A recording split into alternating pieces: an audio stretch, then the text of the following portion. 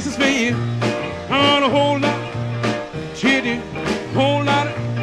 She did, I'm so glad to see you.